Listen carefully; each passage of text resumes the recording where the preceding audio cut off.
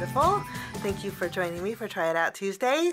Today we are using the Stampendous.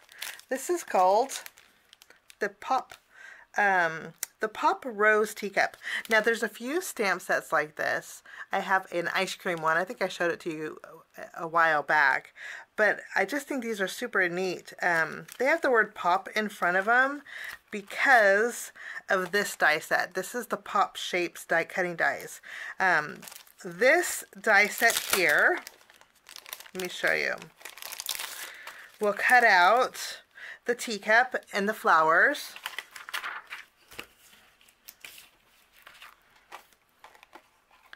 Here's, the, I'll just take them out. Here's the teacup. And then we have the flowers. Okay, but this mechanism here creates a pop-up. Let me show you. Right here in your card to where when you open the card you can have items popping out. Um, this is, I think I have, well, I showed you, this is, I'll be making a card with this one um, for Try It Out Tuesday in the future, but because I, I love ice cream. But this die set will cut that out also. You have um, I think this die set's pretty versatile because you have the flower pot here the, and then the ice cream cone, which are the same shapes. So this pot will cut out both of them.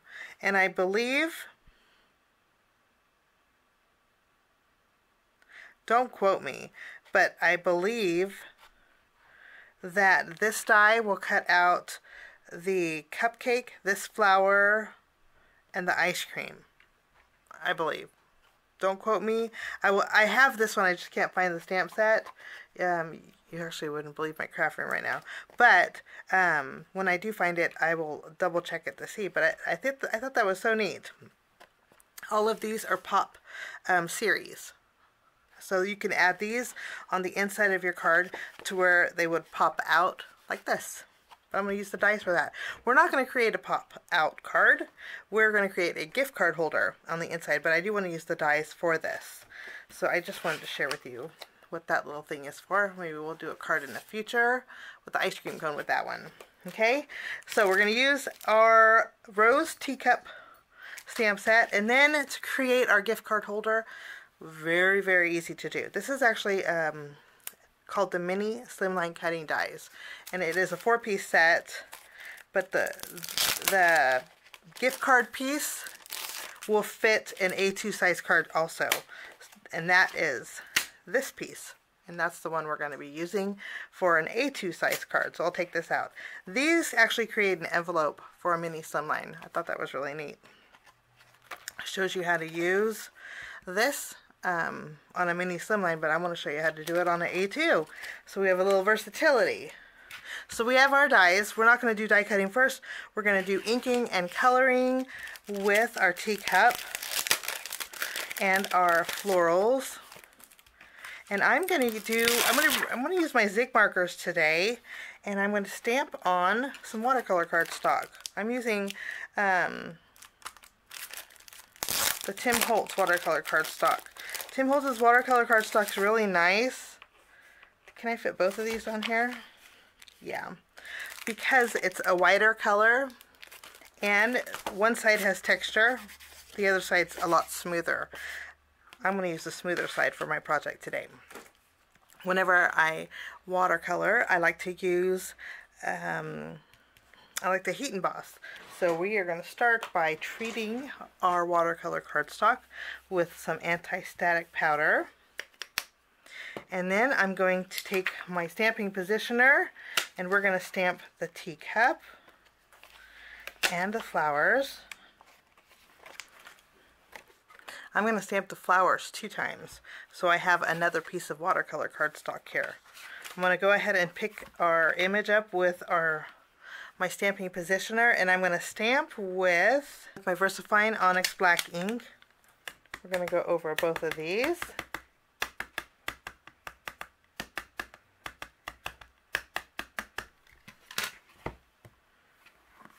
Stamp these and then, wow, that's so pretty. I'm going to go over these images with clear embossing powder.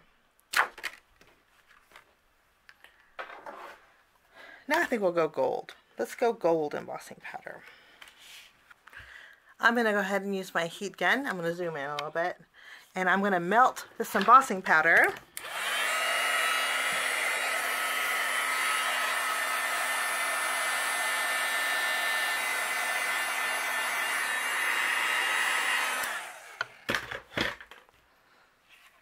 We have, um, for the most part, I think I'm just going to do one cup and then both of the flowers.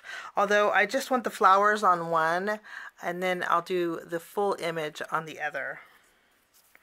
Okay, let's zoom in and to color in my images, I'm going to use my Zig markers. And, okay, for my flowers, I'm going to use a yellow, a pink, and an orange leaves, I'm going to use two different shades. And then the cup, I'm going to be using two different shades of blue.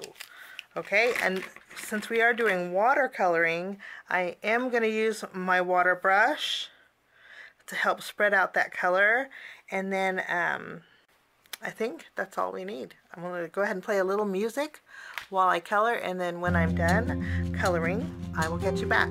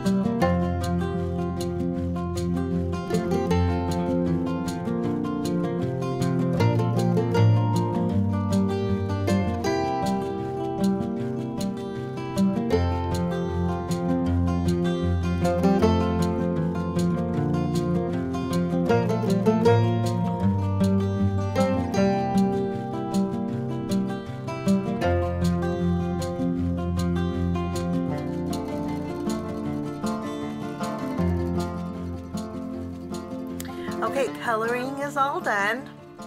I'm going to go ahead and what we're going to do now is this one I did a little bit um, less detail on the flowers because we're going to actually fussy cut this flower out and then die cut out um, this arrangement here.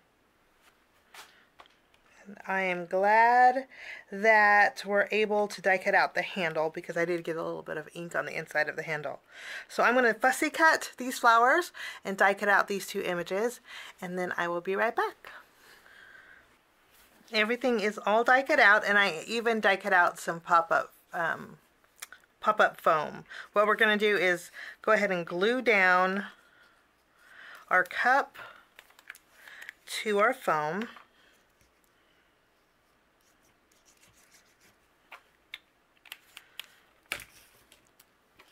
Since this is watercolor cardstock, the paper does warp a little bit. So, weighing this down will give us, we'll, weigh this down with acrylic block.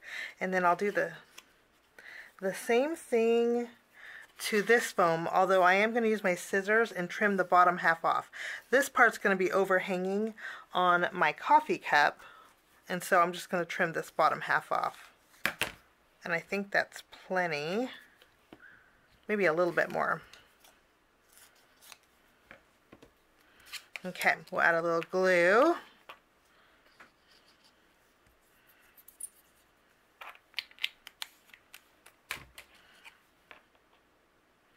And we will layer this.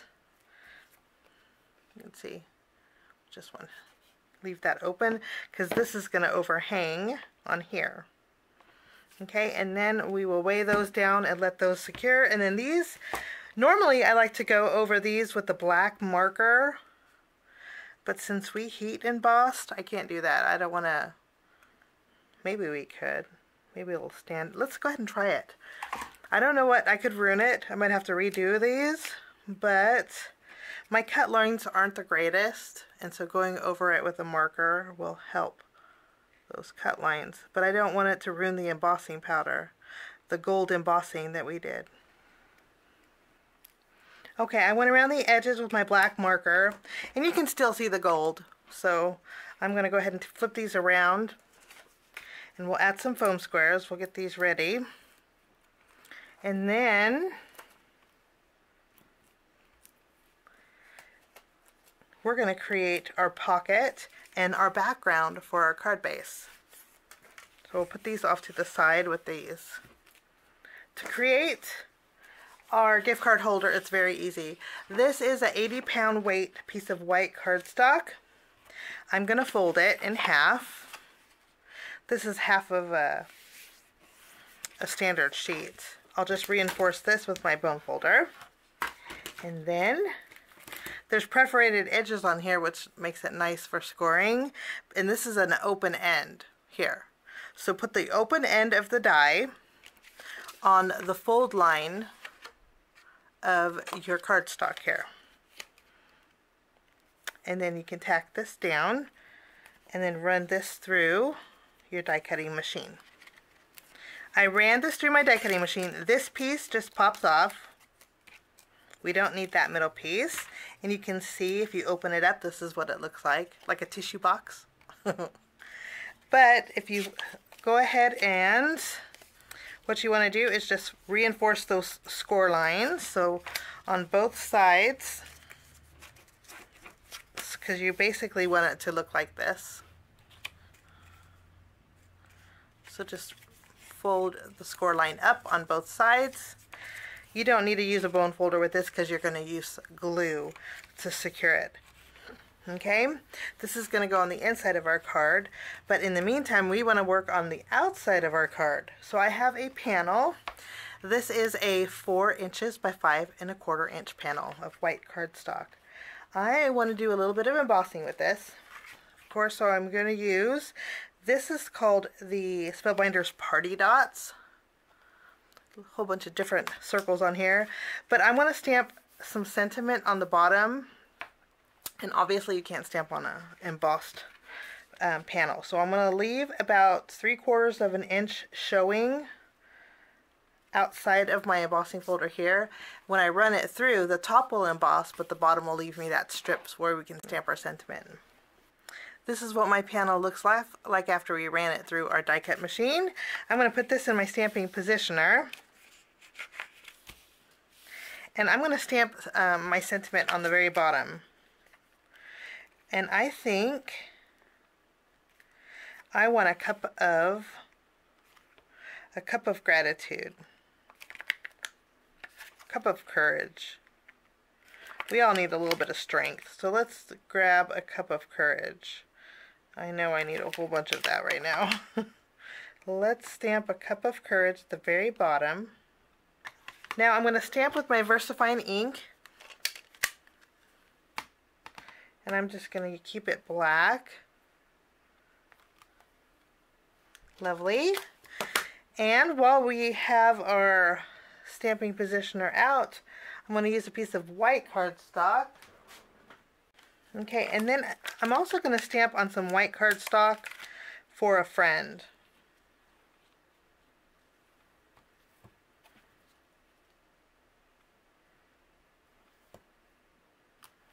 Let's stamp with black ink also.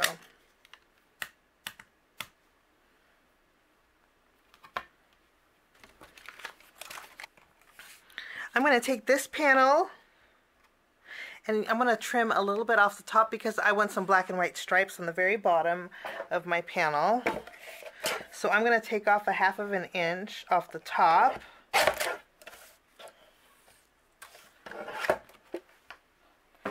And then I have some black and white striped paper we're going to put on the very bottom.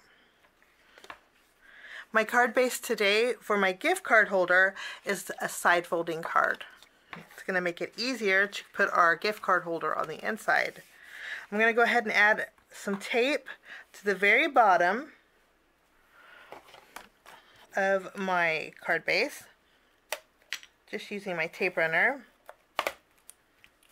And then I'm going to take this panel and I'm going to add it directly to my card base and I'm going to line up the bottom of this to the, the, the bottom of my stripe paper. And we'll just do that using tape runner.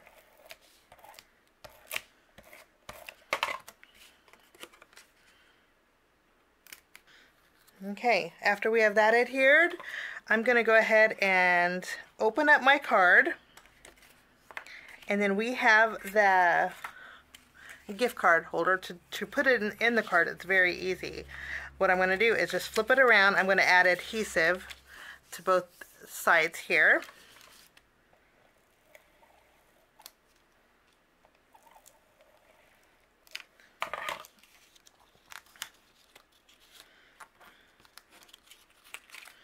And then I'm going to fold fold it like this. And then, since this is not five and a half inches, I'm going to fold it flat and I'm going to place it in the middle, right on our score line of our card base. Well, just below it, I should say. And then I'm going to close it, hold it down, close it. I'm going to seal it really good. And then when you open it, you'll have something that looks like this. Very easy to do. And it folds absolutely flat. Almost flat. Okay, and you have plenty of room to write a little message in here. I lightly tacked my card closed because it wants to open up. But now we're going to decorate the front of our card. So we have our coffee cup. I'm going to add some glue behind it.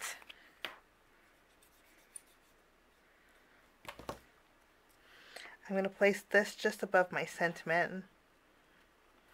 And then I'll add some glue behind here and also down on the bottom.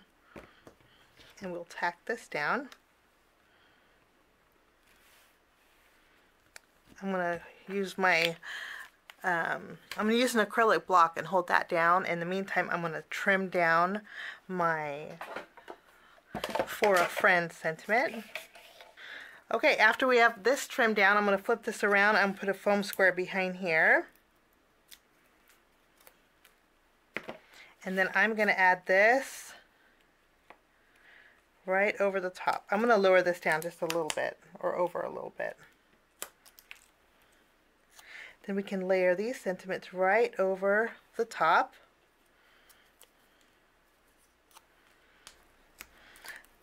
This flower here, I don't think I'm going to add foam tape to. I'm going to just add this directly to the front so we have different layers of flowers. I think that's going to work out better.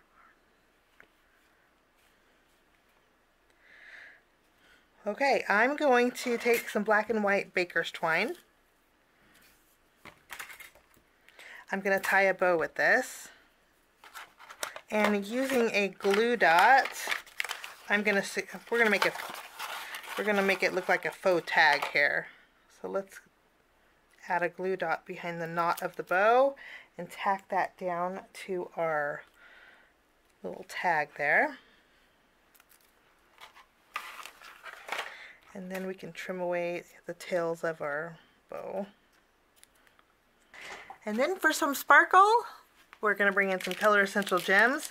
This is the Spectrum AB. And we will use our tool in one and go ahead and add a few gems.